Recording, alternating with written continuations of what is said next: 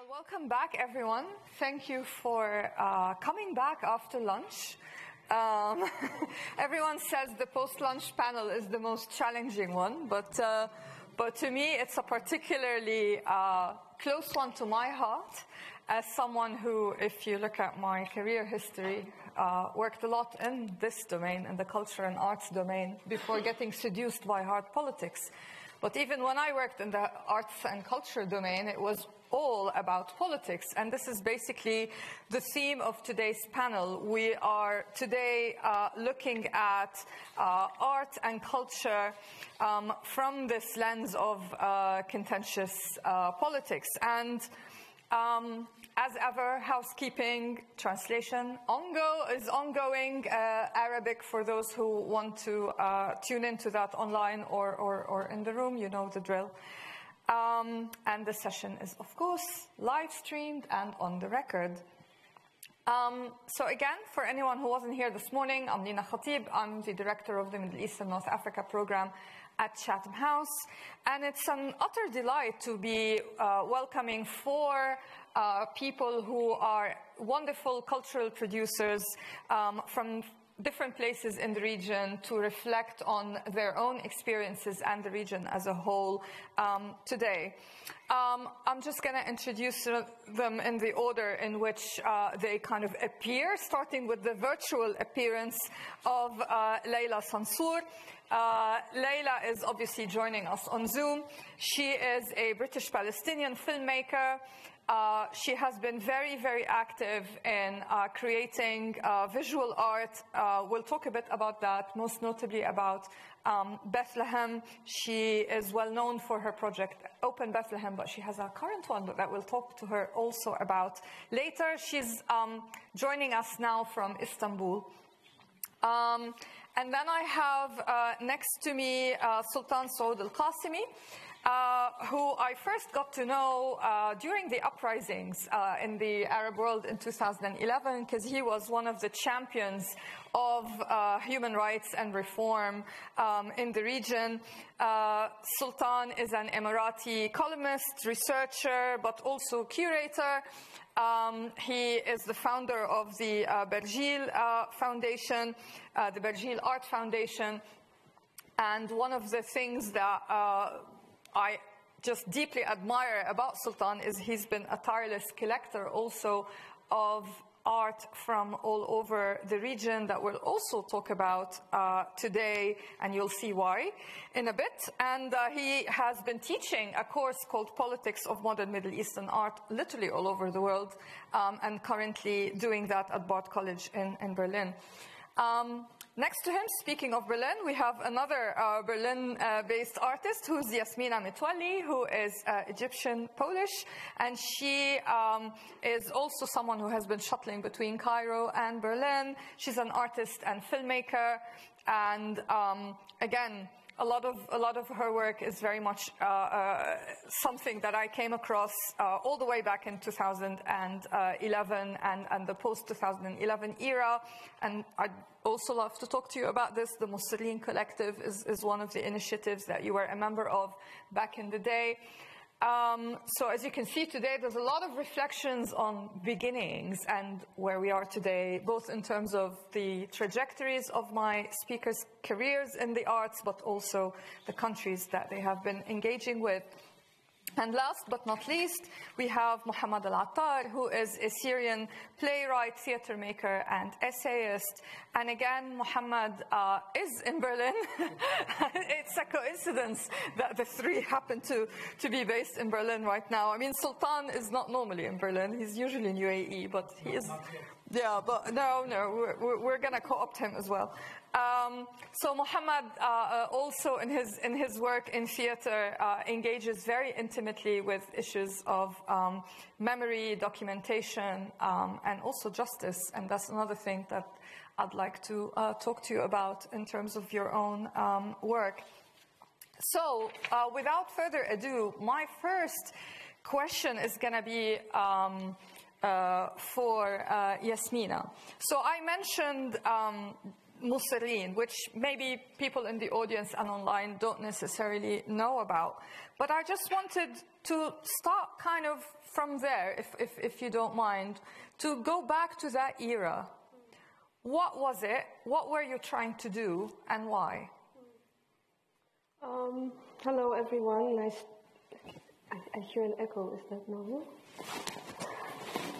Okay. I have to get used to it. hearing hearing my voice like this. Um, hello, everyone. Um, thank you for the invitation. It's really great to be here um, in this uh, panel with uh, with you three. I mean, I admire your work from afar. Um, I've been following your tweets back in 2011 in Tahrir, and uh, we finally meet in person after so many years. and uh, so goes to to Muhammad. And your writing had also an influence uh, on uh, the different, I feel, um, performative and theatrical. Um, um, moments that were um, extend out of the, the, that revolutionary momentum also back in, in Egypt, which also has to do with different forms of performing or performativity um, within uh, a very uh, uh, difficult state kind of run in, institution. I, um, I did not start in 2011 um, like my activism sort of um, shifted uh, after the, the, the, revolution. And during the revolution, I was, as many others, protesting in the street and filming um, the ongoing kind of like struggles, protests. Uh, they took me further than Tahrir uh, to mostly workers' struggles, so factory spaces, both private and public. Um, I was involved in uh, collecting testimonies from uh, during these protests and sit-ins, and then further collecting testimonies with groups like Against Torture Campaign, uh, No to Military Trials on Civilians, um, to uh, create or to, to document, not as a form of remembrance or remembering, but as a political tool to investigate these crimes and to um, bring justice to, to those who, who were affected at the time. So that was the premise of the kind of uh, work that we were doing. That back then I wouldn't call it work or activism. I mean, it didn't really have a labor. Then you had labors kind of parachuting in, such as citizen journalism, which we, you can discuss this terminology later, which I find a bit problematic, but it was more coming from grassroots engagements all around.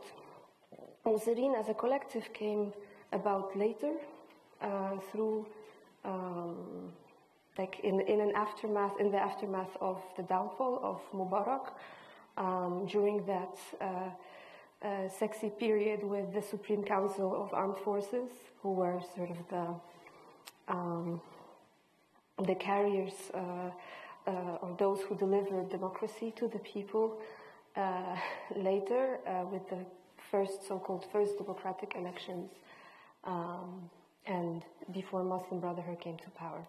So I mean, in that period, in those few years, really, there was space for um, for that. There, it was a momentum that prolonged for about two years, uh, where we could uh, manifest our anger, where we could seek justice uh, and have hope.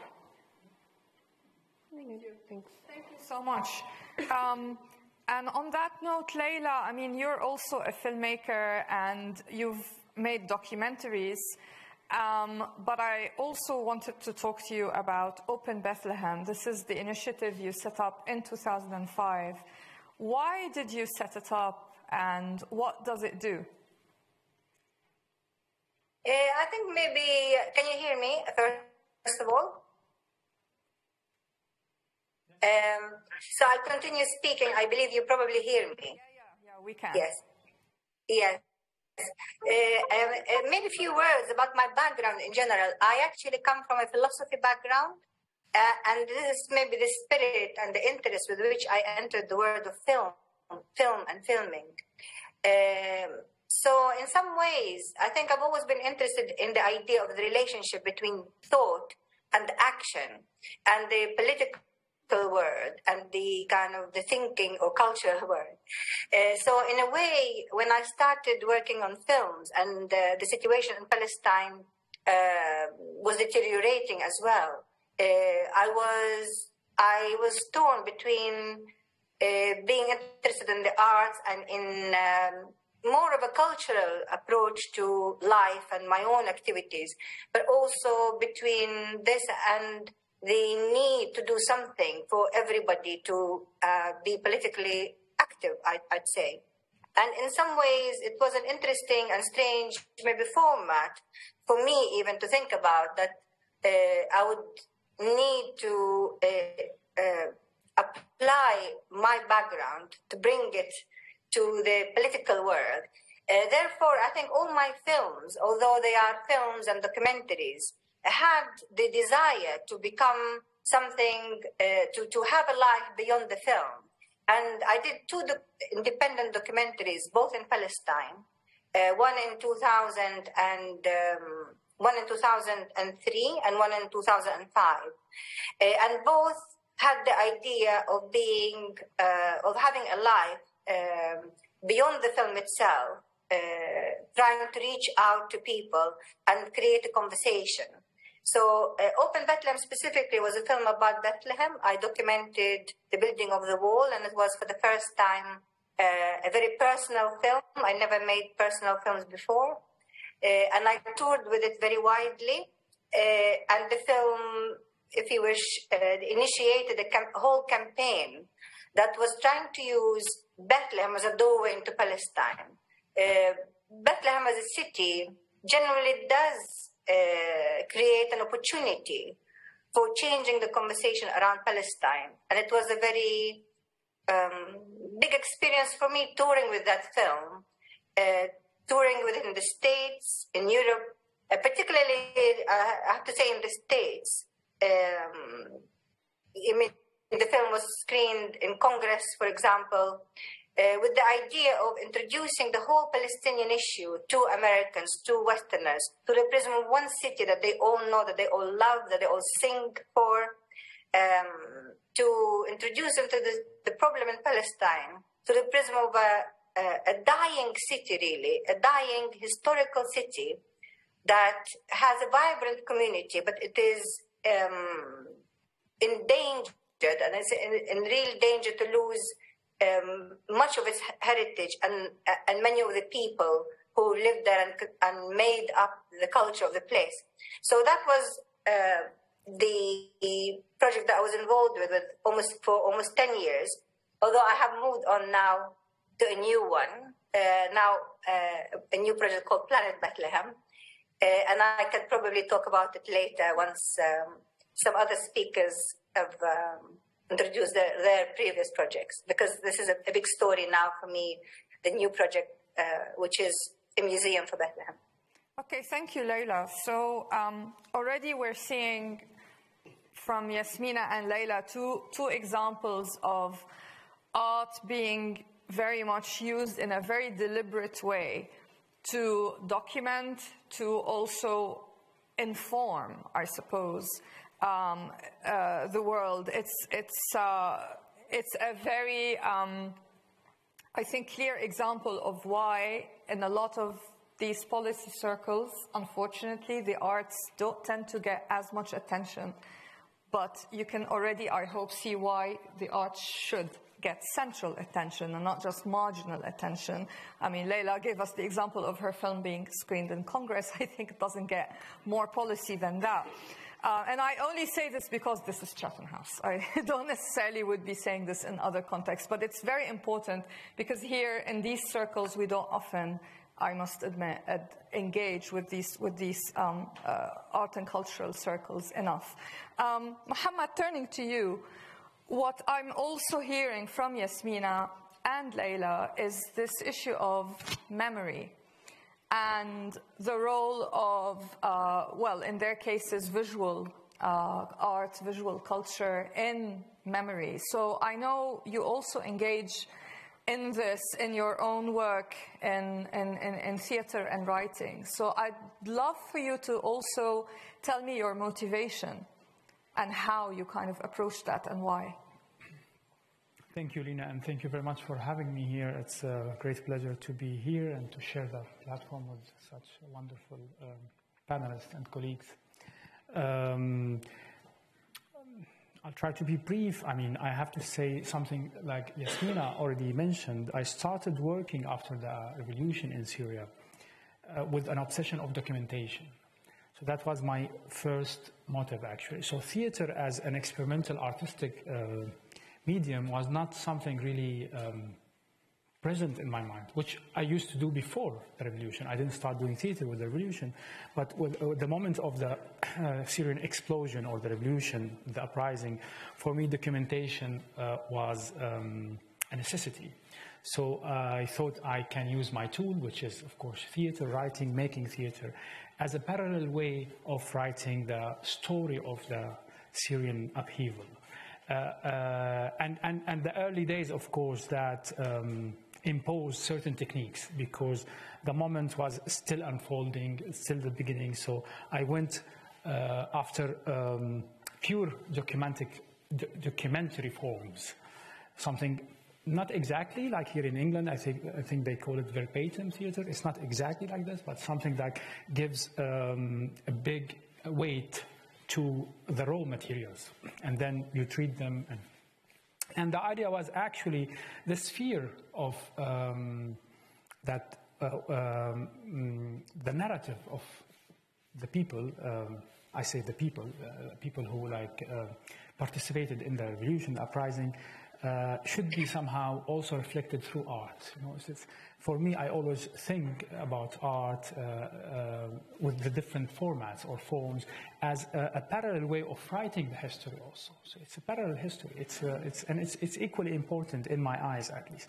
So that was the start. With time, of course, with the changes that happen in Syria, with the situations, recently I'm more occupied with the question of narrative and memory out of concrete fear of the erasing of, of the threat that this narrative is, is, will, uh, is erased. And uh, uh, I tend in the early days of the uprising to think that this might happen after 100 years, but now we are standing roughly 12 years after, and there is a generation in the world, forget about outside the world, they knew almost nothing or they knew a very um, manipulated version about what happened in 2010, 2011. Uh, I have nieces who live in, in Syria, and um, it scares me always, almost always, sorry, when I speak to my sister, and she tells me somehow, because people cannot speak very uh, freely when they speak, they are inside Syria, so we always have our uh, technique to pass messages, that she can't tell her daughters what happened in 2011 because they go to school, public school, and uh, you know, and this is um, still very much a, a, a, police state, typical authoritarian uh, state where you cannot, uh, where you are very careful what you tell your kids, uh, so uh, uh, you're afraid what they can speak outside. So I'm speaking about like something like even within my family. so this fear, of course, drove me in the last years to be very obsessed with this question about which is, of course, not, uh, not all, uh, sorry, not um, related just to the Syrian context, which is who writes the history, who owns the narrative, especially in, the, in, a, in a situation like Syria where we, and I'm not pessimistic, where, where we are defeated temporarily, I would say, defeated um, politically. Our dreams of uh, achieving a democratic state or achieving a transition where we, uh, uh, uh, where justice and social justice are prevailing, it's defeated, badly defeated, I would say. So, and, and in my opinion, one of the only fields, remaining fields that the struggle can continue is uh, the struggle of, of, narratives, the battle of narratives. I do believe that as long as you have a story, uh, a solid story, as long as you have uh, a narrative you are not totally erased. And that's why I'm very, very um, obsessed with this question. I'm trying to reflect in, through, through the work and trying sometimes even to jump to the future to imagine kind of this, this uh, dystopian reality where um, nobody knows what happened in 2010, 2011 in Tunis, in Egypt, in uh, Libya, in Yemen, in Syria, and, and what kind of future is, is, is uh, possible when you have this kind of um, erased memory or erased narrative because I can speak about Syria like we had uh, uh, um, terrible times, time of troubles in the early 80s. And my generation, I was born in 1980, and there was a huge massacre in, in the city of Hama in 1982. And my generation knows nothing about this massacre. And when we, when we used to mention the massacre, we used to say the events of Hama, Ahdath Hama. We never referred it as the massacre of Hama. Yeah? So this is something I know from my generation, how we uh, were born around the same time that uh, people were killed and massacred. Uh, after 10, 15 years, we knew nothing about this past. You know, and we even, uh, sometimes with, with no any bad intentions, we were, we were uh, not even trying to dig about these things. So that's, for me, why today this question about memory, narrative, history, and the, the ro- role of art, in my, in my uh, case, theater, in trying to keep the struggle alive and, and to keep um, the question alive. Thank you. And uh, on that note, I want to turn to you, Sultan, because again, uh, I don't know how much people know, but you own probably, in my view, the largest collection of political art from the region. Um, and my understanding is that it's a gender balanced collection as well, which again may be fascinating to some people to find out that the region has a rich history of women and men uh, who have produced um, you know, political art and, and, and, and, you know, you have collected this for a number of years now. And speaking of keeping memory alive and archiving and all that, I'd love for you to tell me more about what motivated you to start this collection and also perhaps when was the earliest piece in your collection created? Because that's another thing. Because now, you know, we're anchoring ourselves in 2011, but of course, all these debates did not start in 2011, and all this art did not suddenly just uh, start being created in 2011. The, the, the, region actually has a very rich history of uh, very cultural, uh, political richness that, that deserves to be remembered. So, over to you. Uh, I think the translator is going to hate me because of how fast I'm going to try to speak.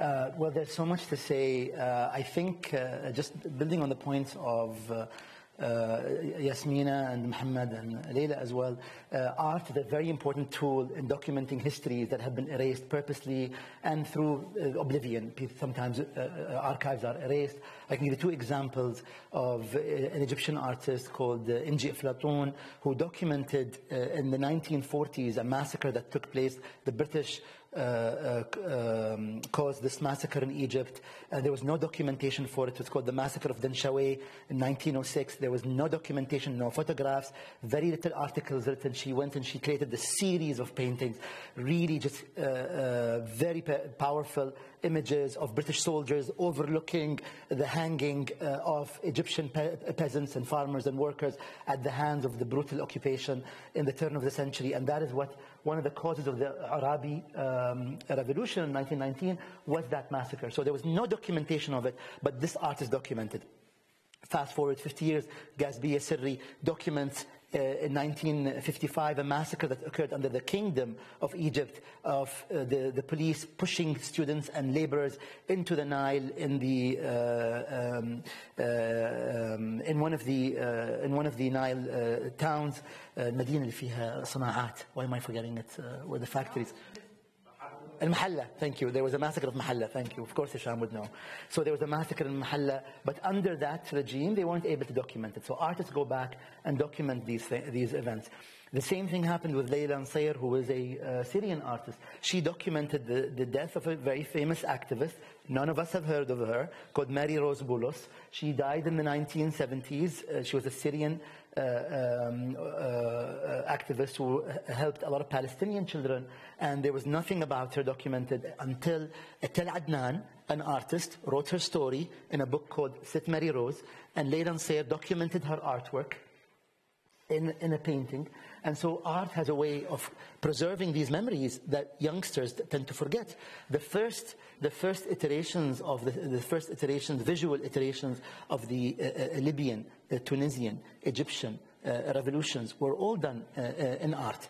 Art allows you to talk about subjects that you can't talk about in public. I'll give you an example of the Gulf. In the Gulf, talking about labor rights is very contentious. This is the title of the talk.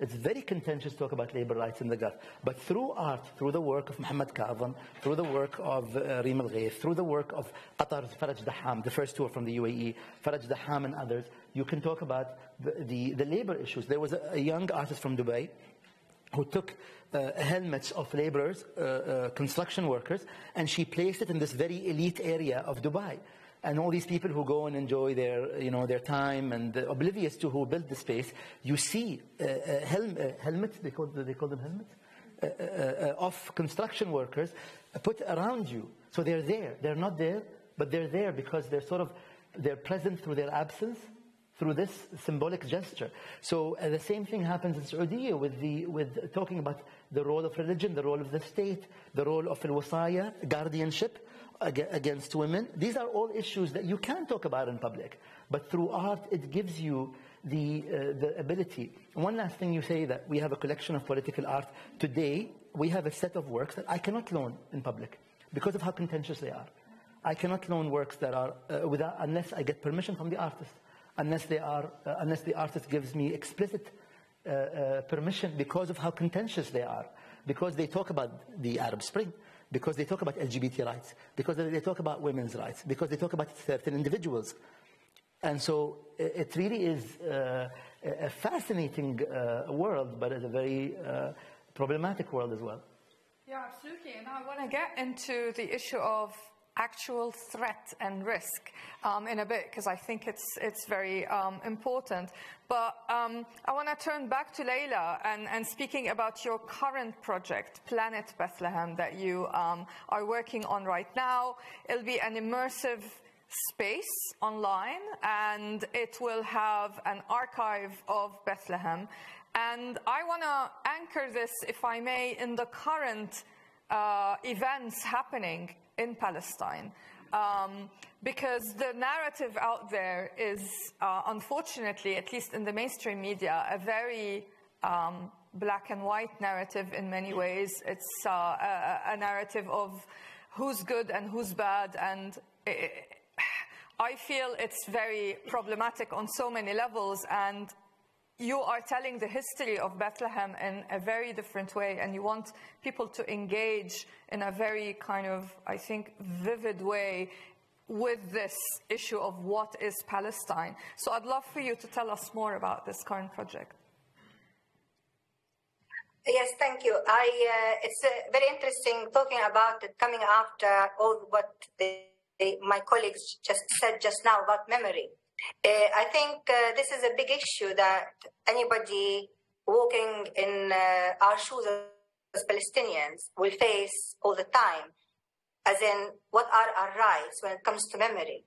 Uh, obviously, uh, in many cases, we face problems such as what is what, what memories we're allowed to have and what memories we're not allowed to have, and how you struggle to make these memories that you're not allowed to have visible.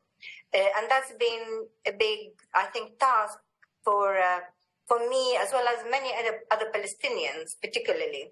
But I think because the issue of Palestine has been going on for so long, other problems with memory also emerge, such as you start realizing if you're an artist or working in the cultural field that memory isn't just a, a simple thing. Memory isn't just a, a, series of facts that we remember and we make visible uh, memory is also a space where we create ourselves as a creative space.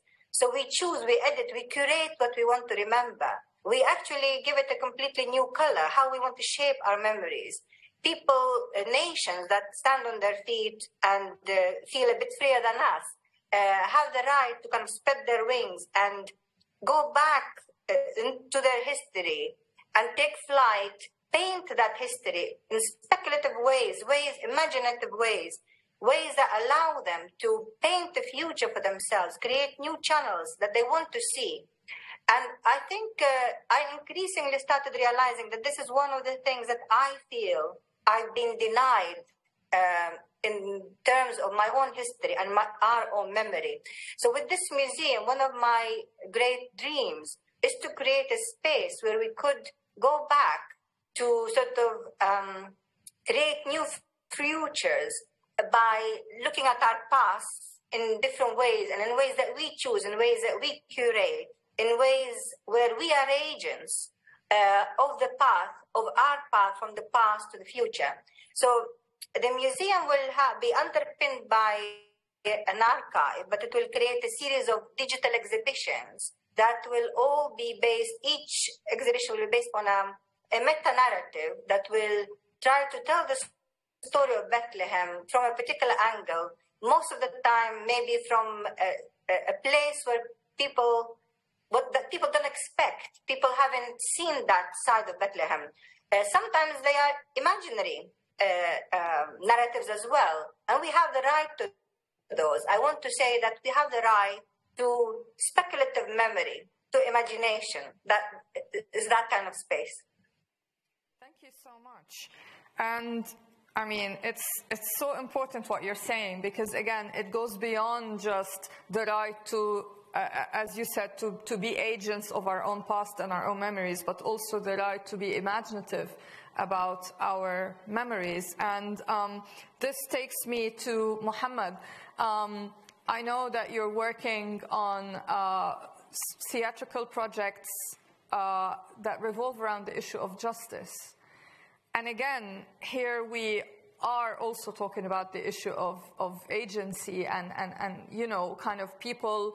Um, again, your play is anchored in reality, but it's not um, a, a, documentary as such. So you are also, you know, being imaginative in the way you engage. So I'd love for you to tell us more about how you went down this route of commenting on justice through your current work.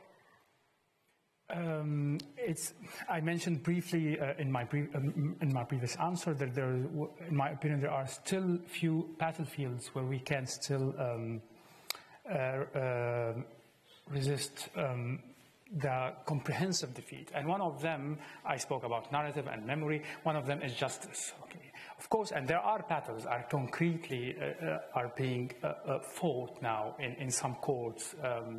Um, um, in Europe, especially, to bring some of the regime, uh, I'm speaking about Syria now, uh, regime officer, officer, uh, officers, uh, especially from the security apparatus, uh, to hold them accountable. It's the start of a process. I'm not an expert in this, but, but combining justice and imagination, I think here where I can feel free to reflect um, and I think one of the um, strengths, uh, uh, Sultan mentioned something about uh, uh, the art and the capacity of art uh, when it comes to uh, documenting. But also, I think this imagination gives us also um, room to maneuver around the bleak reality and to jump sometime over this bleak reality, not to fall into the trap of uh, how to say, uh, illusion, but sometimes just to try to think beyond the deadlock. Because honestly, I'm speaking about myself now. If I leave myself to the objective, rigid reality, I will die tomorrow. Like literally, I will commit suicide. And this is happening almost on a weekly basis among Syrians, youth. So and that's why imagination is important. And, and this art provides us with this imagination. And that's why my work um, is described largely as documentary based, but I think it was always and still and more uh, um, uh, playing on this boundary between documentation and, and, and fiction and imagination. Back to your question, to be more precise, uh, for me, the question of justice, not, not, not just it represents one of the few battlefields that we still can uh, show resilience and we still can fight for, for concrete objectives, but also for me, it's, it's, it's becoming um, uh, the discussion about it is, is, fascinating, especially after a, a key moment uh, which is a trial that happened in Germany, in, in a city called Koblenz. It's the first of its kind. Please correct me if I'm wrong, because again, I'm not expert, where two uh, uh, uh officers who, who ran away from Syria, so they used to serve uh, with the security, the regime, the Assad security um, apparatus, and ran away and they wanted to start a new life in Germany as refugees, asylum seekers. Uh, they were, uh, after a series of encounters, they were like uh, put into trial, and the trial happened. And for me, why that was a key moment, I will not go into details about the trial itself, because for the first time, the, the, the term justice is, has been moved from its kind of uh, symbolic and metaphorical sphere because justice and social justice is one of the key slogans of our revolutions uprising. Uh, Karama. These are our, our, our slogans, yeah? but for me, Koblenz, it moved the term or the discussion about the term from its symbolic and metaphorical sphere to something concrete. And out of sudden, we had to face, okay, now we have a court. What is justice then? Because among people who share the same political affiliation, we had a lot of aggression fight. No, this is not justice, this is justice. You can't hold, this, uh, hold them accountable for you hold the head of the regime. And we had countless arguments, and, and for me, it was an eye-opening because now we have, we are at a time where, where, where we need to discuss the concrete meaning of justice uh, not just its kind of symbolic or its kind of uh, romantic uh, meaning, because because from now on we have really to, to, to be engaged in discussion about uh, justice, justice and again, and how it's unfolded in courtrooms, about transition, because we know that in countries like Syria, in the future, hopefully, uh, hopefully, we have to live together, perpetrators and victims. So, because the, uh, the violations happen on a larger scale, there is no way you, you can put everybody in court. Or, so, so from here, I, am started to work on the term. It, it's exactly from bringing it from its symbolic, from its kind of more romantic sphere to its practical sphere. Thank you so much. Jasmina, if I may turn to you, so you kindly gave me this earlier.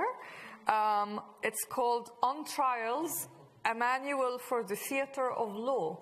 And it's uh, a book that uh, you uh, have put out alongside Philip Rizk.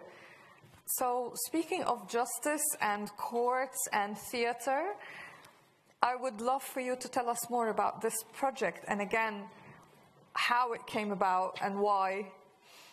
Um, I need to look at it just so because I I can't remember the the trajectory, but it all started with a with another film that uh, uh, Philip uh, Rizk and myself um, made in, in Egypt, which was it was called Out on the Streets, uh, Baraf Shara, and it was it was 2014, um, which was a very um, shifting moment politically from uh, Muslim Brotherhood to Rabaa Adawiya and the massacre of Muslim Brotherhood, and then um, uh, Sisi taking power.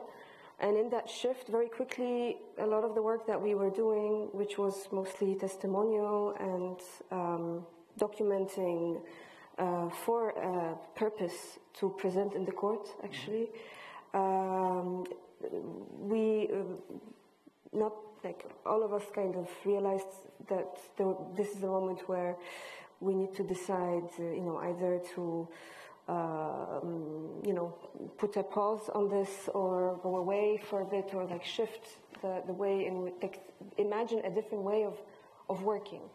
Um, um, in order to sustain something that we already had within ourselves, which is to, to pursue justice or to, to, to pursue um, truth and to, to, to, to negotiate it somehow.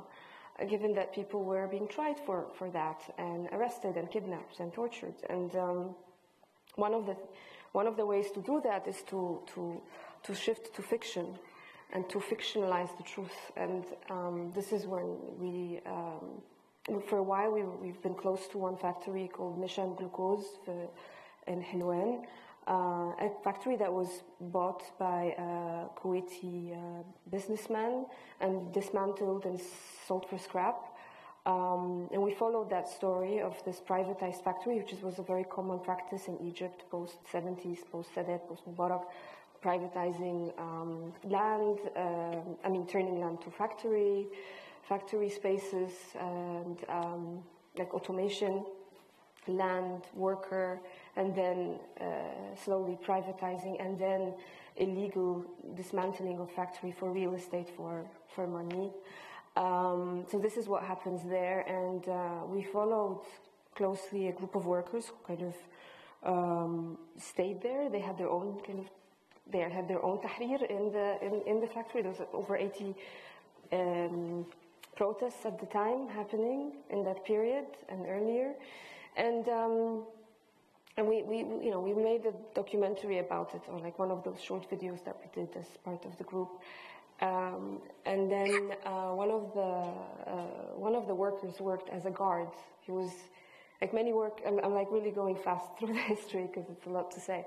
But um, many of the workers they took the deals and left the protest. Some of them uh, got tired uh, or got another job. But there was this like last five and one of them was a guard, and he was documenting everything with his phone. And while he was documenting ev- like everything as it was going in, in within like eight months, uh, like he shows how how the factory changed or how it disappears in front of your eyes, and he also narrates what you cannot see. So he speaks about what he remembers from that space of labor, which is no longer there.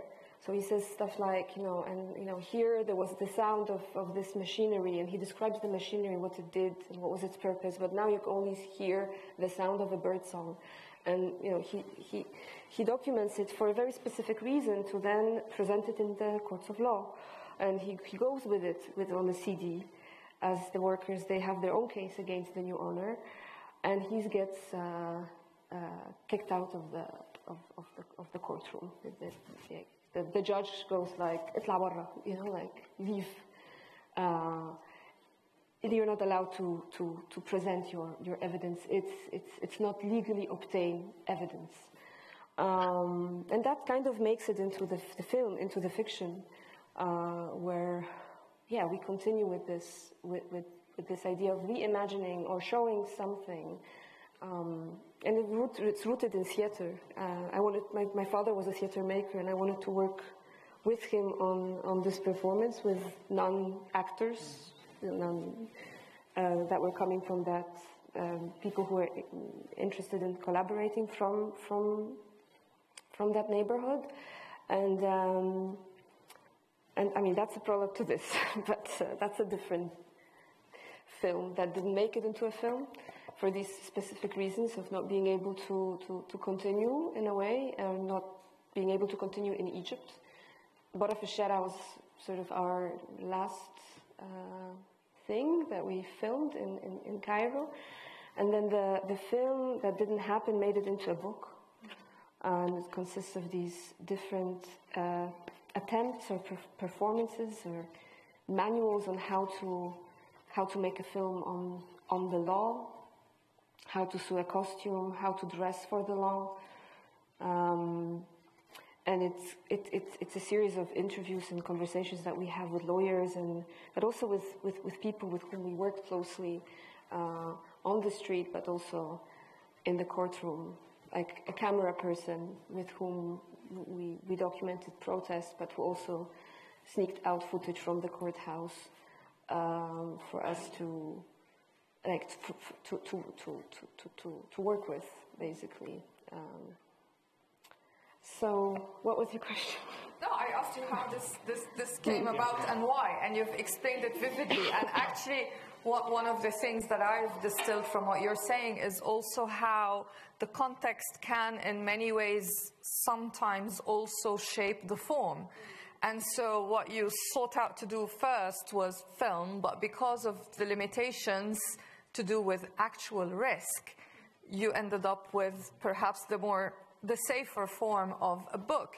And, and, and this is something that I actually want to um, just pick up on Egypt at the moment. It's not a very hospitable space when it comes to uh, critique of the government, when it comes to uh, speaking of who owns the narrative. You know, there's a very clear attempt. Even the government itself is a cultural producer in some ways, because I understand that uh, TV series are, are, are, being made by the military establishment, adverts, um, pop, pop kind of cultural products. So, how is the situation for Egyptian artists, how much space do they have to push boundaries in this kind of context? I mean, the freedom, uh, there's, there's, a, there's a new law that's not so new anymore under Abdel Fattah al-Sisi that um, against freedom of expression, um, or not against per such, but if, if, if it is too critical of the state or if it is too, or if it or if it's if the work is against or the behavior is against family morals or family values. So these are there's different laws that then are also put under a larger law, which is like an, a terrorist law, um, which was um, um, enacted in I think 2017. I'm, I'm not sure. Um, so I think I mean just just just thinking about the not the last panel but the previous one. Um, and there was a moment, like a debate around, uh, you know, how do we meet at a table? Like, what kind of discussion do we have between the opposing forces and the state? And then the question around, so who is the opposition? Uh, is are we speaking about the opposition from 2011 per se, like what went wrong then, or are we maybe uh, contesting a, a, a, future that, um, or are we in a future that did not happen? which is uh, the and it and it did not happen not only for the reasons as such, the generational activist uh, uh, uh, you know, disputes of uh, at the time in post 2011 January, uh, post Mubarak, or or is it does it go deeper? Is it does it really come from quote unquote like ignorance or like cultural uh, inawareness? I think I think not. I think it comes from um, like the, the, the, very space to have this kind of debate is uh, is, is, is, is violated. Um, there's, there are laws, new laws that are enacted. Laws can be very easily enacted. They just need to be spoken. they just need to be spoken out loud, and, and then they become the, the premise for everything. Mm, uh, human rights are, are, are, being violated today. Um, there's, um, and that goes into so many different departments in the arts, in journalism. The only independent uh, newspaper, Mada Masr, is threatened. Alina Attalah, who's the editor in chief, is facing. Uh, under the same terrorist act, She's, she and three other journalists are uh, uh fa facing uh, pot potentially going to prison. Um, there's no space for for to, I mean, there's no, no space to negotiate. I, I mean, I'm, I'm, more on the pessimist side. I mean, I, I do believe that turning to fiction and turning to imagination is a way and needs to, needs to be, and we need to fight for it. But even that is being uh, suppressed uh, under these laws. So, no, it doesn't look very, uh, yeah. Thank you. And I will turn to the audience for uh, questions, but I wanted to pick pick up uh, on, on this issue of fictionalizing the truth, Sultan. And also, someone like yourself, when you're saying art allows us to talk about the things that otherwise, you know, perhaps societies would frown upon, but sometimes the law also frowns upon these issues. Um, how are people able to get away with it in this in this context in in the Gulf, for example? I mean, when someone, you said, makes an exhibition and has helmets of workers, does this come with consequences? Uh, yeah, well, I think that uh, artists are very smart, uh, and I think that artists find ways uh, to be subversive and find ways to uh, put out their message without being immediately identified. Uh, you sometimes don't understand. Um, I don't know how. The problem is there's so many things I can say, but I cannot say. Um, there, there is an artwork uh, by a, a, GCC collective uh, show, uh, showing you a, uh, a table of the GCC leaders meeting, and it's just a table, and it's beautiful. It's made from mahogany wood. It's gorgeous. There's nothing wrong with it. The only thing is that it's small. And I leave it, I leave it there. And so if you, if you think about the context, then you understand what it means. But there's nothing wrong with it. There's, there's, no one is being offended. It's just there. Uh, and there's so many other examples. Um, and, I, and I think that uh, it's just difficult to out people, you know, out people about their, their ideas and what they think and what they mean and reinterpret them. Um, but I think there's so much space for interpretation of what artworks are. Um, for example, Manal al in Saudi, she did an artwork where she had these uh, uh, pigeons or doves made out of uh, porcelain, and each one of them had on the wings a, uh, the permission to travel, the women's permission to travel. But the names have been removed, and so the permission has not been granted. So the birds are, are, uh, are suspended. The, the, artwork is called Suspended yeah, uh, in Flight. You've seen it. Yeah. And so it's very smart. It's a, it's a very critical work about a current uh, topic. And there's so many other examples. Um, but maybe just to pick up on, um, on the issue of social justice, art also allows you to talk about social justice. We talked about social justice when it comes to laborers, but there's social justice, for example, when it comes to minorities that have been wronged in the Arab world, especially in the last 60, 70 years. Um, I can tell you, for instance, uh, in the 1950s and 60s, uh, uh, thousands of Nubians in Egypt have been forcibly moved out of their homes so that they can build this giant lake and dam. Uh, and where did you get the social justice? Where uh, there is no social, just, social justice, but where did you get the documentation? Artists went down and documented these lives of these individuals who were forced out of their homes. When, when you talk about, for example, uh, the gender balanced nature of our collection, women's rights in the region have been taken away.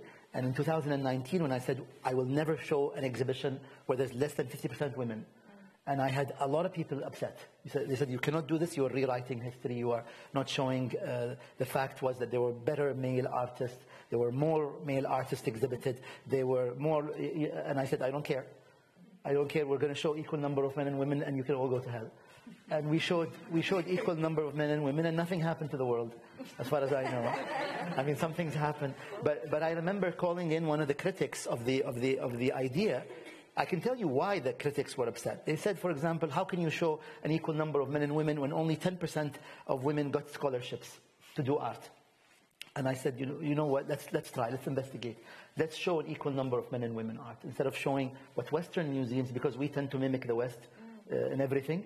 So instead of West, what Western museums show you here, 10% of women and 90% men, we said we're going to do 50-50. And, and let's see what happens.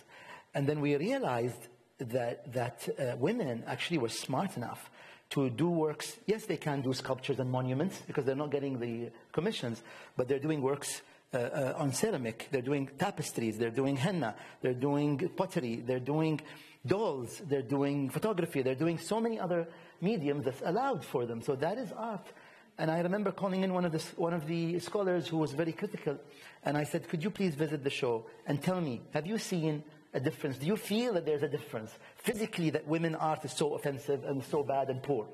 And they said, no, we haven't, we don't feel that the work, that the exhibition is weaker. And so I think you can, you can introduce the idea of social justice, showing works about Nubians, showing works about the Amazigh, showing works about uh, the minorities that have been wronged in the Arab world, and about genders, again, LGBT, and all these things that we need to, uh, to talk about. Absolutely. And what you're saying is also, it's not just about, about the art itself commenting on social justice or being engaged with it, but it's also you and your very conscious choice to also champion social justice through your practice.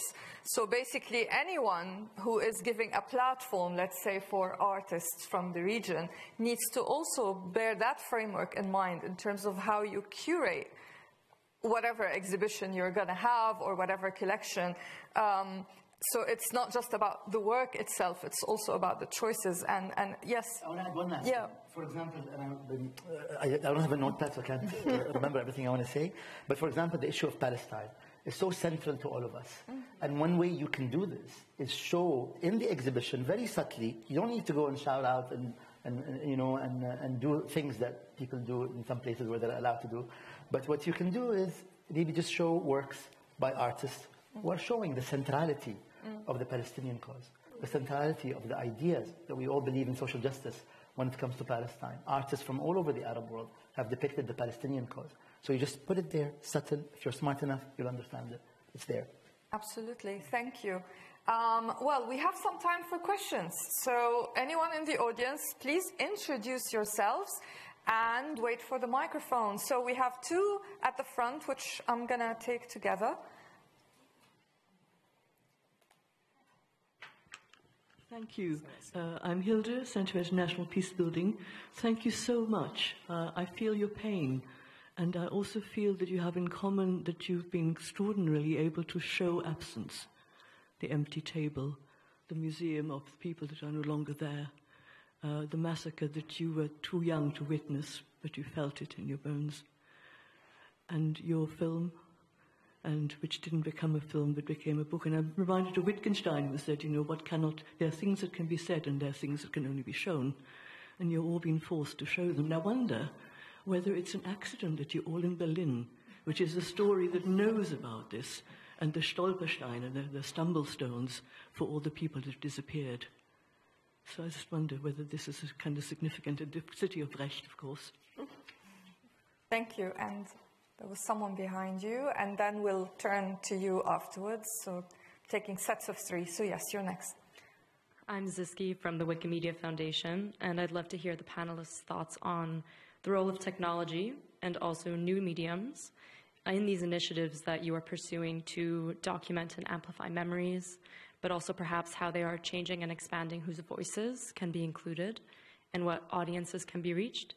And maybe also how they're changing what forces you're actually fighting against, perhaps because the regimes are also using these tools very effectively, or because there are additional or heightened forms of surveillance and risk. Thank you so much. And yes, please. Yeah. Thank you.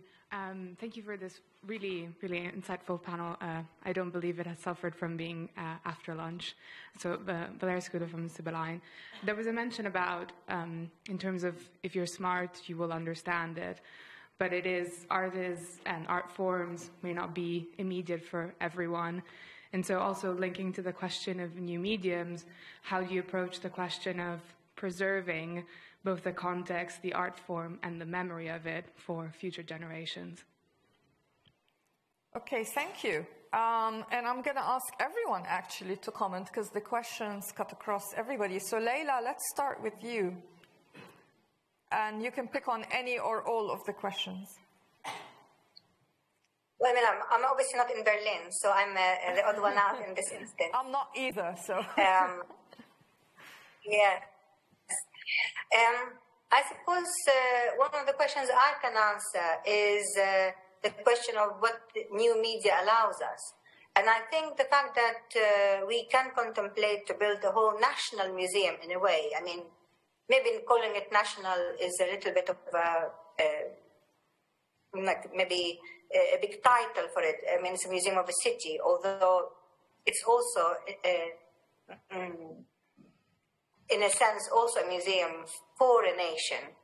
Um, I mean, new ways of uh, presenting information uh, online obviously opens great opportunities and almost allows you to build an, a virtual identity or a virtual collective identity, a virtual national identity. And as I think Mohammad said that uh, at some point that what can you do if uh, reality is so grim?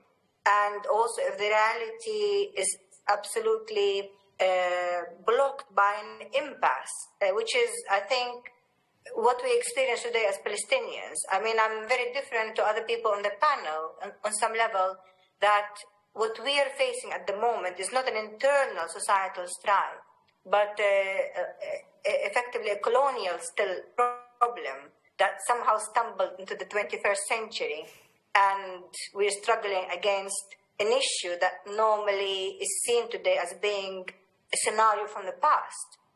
Uh, but for us, uh, the impasse means that we are being challenged as to what are the steps we can take. And I think we can take the step of building ourselves in the world of imagination, building ourselves in a virtual world, um, creating new um, roads forward to start with in how we can imagine a way forward, uh, how we can imagine retaining a sense of um, our own identity and our own trajectory and desires, uh, and making um, our path, I suppose, brighter and more interesting for ourselves for it. Uh, so I am very sympathetic to what Mohammad said about the arts and the ability of the arts to try and override an impasse, override a grim reality, to try and imagine a different way of moving forward. And um, I think uh, in my case, for example, with this museum, we, I want to try my very best to create a reality that will be so vivid that it uh, could challenge the idea of how you experience the world virtually or in real life, so that the virtual world uh, uh, reminds us that the world of imagination is just as powerful and strong and is capable of uh, almost taking us out of a grim reality. So maybe that's one of my probably. Uh, thank you. Thank you so much. Thank you, Leila. That's, that's, that's wonderful and inspiring. Um, Mohammad, why don't we turn to you? Uh, yeah, I can speak about Berlin. Um, um, I think it's not a coincidence, honestly. I mean, I know that Sultan is, is uh, doing a fellowship there, so it's temporary. But I think I think it's not it's not a temp, uh, it's not coincidence that three of us. But I think uh, Berlin is becoming the capital of exile especially from people from Levant, Arab world, for many, many reasons. Um, uh, but for me, not going to this reason because that needs maybe another panel. But uh, it, it's for me, it's uh, on a personal level, and uh, my, my, my friends here, colleagues, can maybe elaborate. It's fascinating to go to uh, Berlin with, with all its complicated history. Uh, it's a place where uh, Walter Benjamin and Hannah Arendt flee also, no? And now we are uh, saving, taking refuge there. And I, I, I mentioned those two because I'm, I'm, uh, I, I, adore their work. So, so for me, it's really fascinating to see the cycle and how things are changing. And also, it's not, it's not, um, it's not just about the diaspora or the intellectual diaspora or the uh, middle, middle, class diaspora, but also uh, from the Arab region, but also from Eastern Europe and elsewhere, Latin America. So Berlin is, is now, it's really interesting place to, to, to see this phenomena uh, growing. C briefly about the technology, because I have a personal dilemma, dilemma uh, about your question about how, because um, I'm, a, I'm a still very old school when it comes to theater, so I don't like to, to broadcast theater online. I'm really very rigid about it. But this is, this is problematic because because one of the limitations of theater is that it has a very limited audience. And unfortunately, theater is associated of being elitist a bit with who's coming. And this is, I know this is, I'm aware of this, but I don't think this is the reality of theater because also theater has multiple forms and theater can go, goes to people also too. And we did this in Syria. We went to um, rural areas to remote uh, villages. We worked with juvenile uh, and uh, people in the Juvenile Institute, with, with, refugees back then, before the Syrians became refugees, Palestinians or Iraqis or Somalis.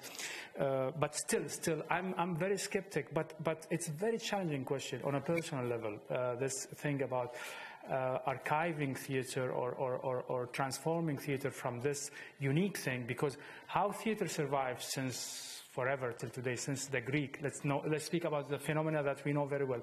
Because it still maintains this something very unique that it's happening now for you. Like, because, okay, there are theater pieces that are performed 100 times, but every night it's a different piece. Because if I'm the actor, tomorrow I'm uh, older one day.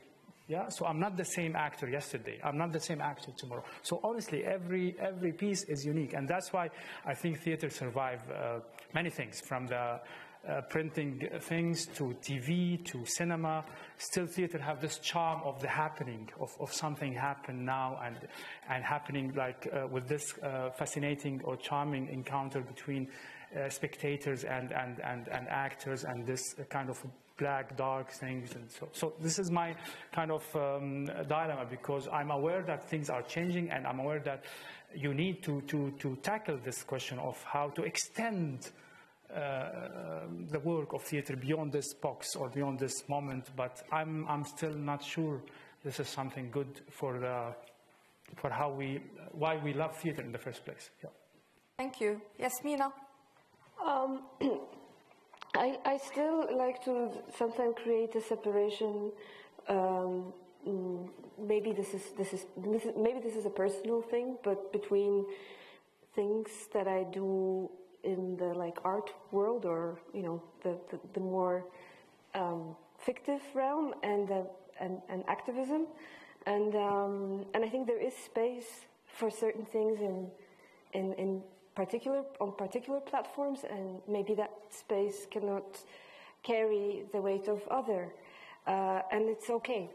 It's also okay not to, you know, not to artivism. Uh, or not to like have this urge to to to, to mix and match, uh, which which was the case after the 2011 uh, after the uprisings, where you know curators would parachute in and want to create some kind of sense and to make that sense to mix it somehow and to, to bring it together and then put it on the walls of the gallery. And I think this is this is what we're not doing here, which is which which is great because we can see how much value there is in the in the in, in, in the object itself and in the imagination of that object and how much how much um, power it carries, like how, how, what, what, what kind of change it, it, it, brings in by its sheer existence or its sheer moment from one day to, to the next with, through each performance and, and the uniqueness of each voice, like it voicing something else each day. Um, but to respond to, to the second slash third question about platforms, there's this, there's, there's this interesting uh, platform uh, called um, Pandora, which is open source, and it's uh, it's it, it, it, it's good for archiving independently from from uh, already existing uh, media, uh, and also protecting identity uh, from state. Um, control um, and, and we're using such platform as Mosireen um, uh, we're using that platform, Pandora, and we ingested over 800 hours of raw footage filmed during these years and collected during those years up until 2014. Uh, it's called 858.ma. And, um, and the reason why I, I, find it powerful is that it gives you a lot of options um, after uploading the footage. Uh, it gives you different options of how to navigate through history, which is not a A to, to, to, to Z timeline. It is actually, it can be spiral and it, you can navigate it through a map or through sound, or you can look at it from the perspective of like a specific time code or a phrase that's been said or a, or a chant that's been heard repeatedly. So I think what it allows us, allowed us to do, and, we, and, and it's a project that never ends, so it says since there's no beginning and end to it, is to go and to continue on tagging and creating these different vocabularies for for the archive. So it is a it is a media archive. It, it is from that specific period, but how do you navigate through these voices without editing them down to something that it is not no more? Meaning, there was a purpose to edit something down and to be to to counter propaganda them and to make videos that are very specific and, and, and, and even manipulative uh, during the revolution, during those two years where one, when we were allowed to do that. Um, and but now is also the time to to do think about the ways of not just preserving it and remembering it, but still uh, learning from it and and and, and navigating through uh, uh these different in and out points that can be um, made uh, uh, limitlessly. I can, I can show you later because I'm talking about specific technology. It's not, I'm not talking like some kind of uh, imaginary metaphor. it's specific to the language of that software and creating smart lists. And like it's, it's very interesting. I'll comment quickly about Berlin. uh, it's a fantastic city, uh, uh, uh but uh, I mean, we do, we do a weekly event with my colleague who's sitting in the front row here. Last week we had 300 people show up. Um, uh, Berlin is excellent, but, but this whole idea that in the West you have absolute freedom is not true. Um, in, in, Berlin, you can't talk about Palestine. It's, it's toxic. There's something, whenever I say we'll do something about Palestine, uh, everyone sort of freezes. And so one thing, one way we did talk about Palestine was talk about Palestine through art. So he said, we're going to talk about Palestinian art. And in doing that, we were able to talk about so many issues about Palestine. But had it been, let's talk about Palestine in Berlin, I don't know whether we would have been able to carry through with that event. So art allows you this space. Under the cover of art, you can talk about issues. I said, this is just an example. Um, and with regards to documenting, I think archiving, there was a question. Um, a lot of the artworks we buy are damaged. Uh, we have to restore them. Sometimes it costs more to restore the artwork and preserve it. Um, we are one of Google's biggest uh, partners in the Middle East. We have over a thousand artworks on display. We partner and we work with many universities and professors. A lot of teachers contact me and say, we want to show these works in class. Uh, do we have permission? Of course we give permission because this is why art is, uh, is there. Um, but I think art uh, should be experienced uh, firsthand. I think you should, be see, you should see art firsthand. Uh, and so another problem with Berlin is that uh, the, the, the, main museums in, in, Germany don't show you Middle Eastern art. The temporary exhibitions show you, as if Arabs are there temporarily, as if Middle Easterns are there for a few weeks, a few months, and then they leave. London has finally come to recognize that sort of people who are brown are here to stay, but Berlin hasn't accepted that yet. They still think that we're leaving. Uh, and so, uh, so yes, you know, it's a very interesting it's a very interesting space, and I think having Jasmina and Mohammad and countless others pushing the narrative, uh, I think is really, really important. Thank you. Well, we only have five minutes, and we need some hope before we go. and Mohammad yesterday was telling me, I don't know if I'll have time to talk about hope. So here's a minute of hope per person, starting um, putting Mohammad on the spot. So maybe not starting with you. I, I, like, how, I, I like how, you end every session with. Uh, we try. We try. I, would call it the imposed hope. No, it, it's not. It's, usually in the region, it's imposed wars. no, no, but but, but, why, but why not? Why not? Honest, again, I'm speaking from a very okay. personal perspective. Every day I wake up and I ask myself why how can I continue? Not metaphorically, literally. Yeah. Sorry, I'm, I, I don't want to spread uh, pessimism yeah. or like. But then, then with, with, and, and I, we spoke yesterday. We spoke about memory, justice, and hope. And I told Lina that hope is the only topic that I'm, I, I all the time think about it, but I can't come with anything concretely because with memory, the question of memory, the question of justice, I'm already working. I have already some projects. Some projects will, will happen soon. But with hope, I'm still clueless. It's, it's just something that keeps me all the time. Um, busy. But um, the only thing is, I, I, I, have to say that we have to find a way to invent hope without falling in the tra trap of uh, uh, fake optimism. And this is very tricky. So, how can we, we, we walk this thin line? And for me, I heard wonderful talk about the grassroots and what happening.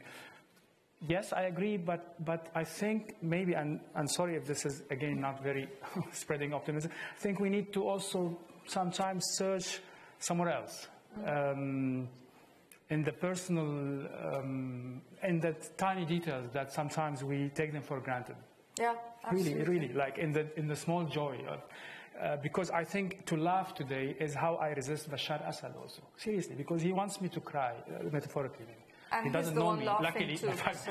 yeah, yeah, but if I, if I laugh, if I love, if I I'm also resisting the oligarchs, the oppressors, the, the uh, seriously, not, and this is maybe how I can, want to invent hope on a daily basis by uh, taking into consideration the small things, not just to think, and I myself was fanatic Marxist, but now I want to, to focus on the small things, yeah. on the daily things maybe. This is how I invent hope. Thank you. Okay, we're really running out of time. So Leila, very quickly, maybe 30 seconds on hope. Well, I'll try. Uh, I think for me also, I mean, hope is always such a difficult and rather ethereal question. But I'd say that maybe it helps if you think about politics not uh, always in terms of the future that you want to project in these kind of meta uh, ways, but to think that all that we really can do in the best way is to build our present, to kind of create a layer for the present that is beautiful, that is meaningful, that is intelligent, interesting. So I think all of us can try and build something uh, towards a small layer of our present. And we hope that we can use that as a springboard, as a trampoline for a more interesting and better future. Thank you so much. Jasmina, over to you. 30 seconds on hope. Um, maybe I'll, I'll, I'll, give you my 30 seconds on hope. we're, we're, praying past the hope. Um, I'm post, post hope. I'll cut it in half. There's an Arabic saying uh, that goes, ما أضيق العيش لولا فسحة الأمل. And I think that that, that tells you. Uh, you translate, you're the translator. Yeah, no. it's, it's, it's, impossible to live. Oh no, it's not no. a good translation. It's impossible to live without the space of hope. No, yeah. Uh, acceptable. something like that. Like uh, living would be constricted without a, the, the space for hope. Uh, English is such an ugly language. I, I, I, I, I very much learned a lot today, including Sultan's indirect reminders of the fact that the West is not a panacea. Thank you so much for that, whether the English language or the restrictions of free speech in, in Germany uh, or the patriarchal uh, frameworks uh, used in our museums here in, in, in, Europe. Thank you for reminding us of that, actually. Very important. Um, it's not an east-west type uh, binary. So on that note, that gives me hope. Thank you so much, everyone.